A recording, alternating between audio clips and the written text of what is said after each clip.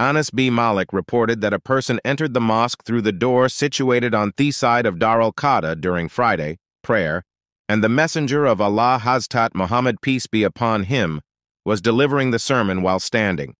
He came and stood in front of the messenger of Allah Hazrat Muhammad peace be upon him and said, Messenger of Allah, the camels died and the passages were blocked, so supplicate Allah to send down rain upon us.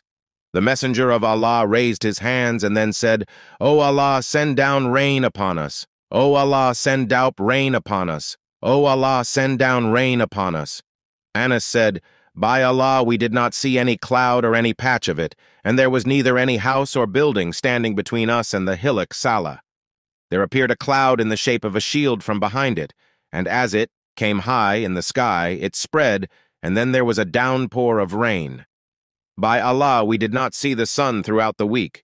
Then, that very man, came on the coming Friday through the same door when the messenger of Allah was standing and delivering the sermon. He stood in front of him and said, Messenger of Allah, our animals died and the passages blocked. Supplicate Allah to stop the rain for us. The messenger of Allah again raised his hands and said, O Allah, let it rain fall in our suburbs and not on us. O Allah, send it down on the hillocks and small mountains and the riverbeds and at places where trees grow. The rain stopped, and as we stepped out, we were walking in sunshine.